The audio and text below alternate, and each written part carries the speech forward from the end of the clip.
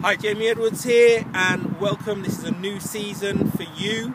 Uh, it's a new year, and I've been working today. My hands are very cold. You can see I'm wrapped up, but it's been sunny.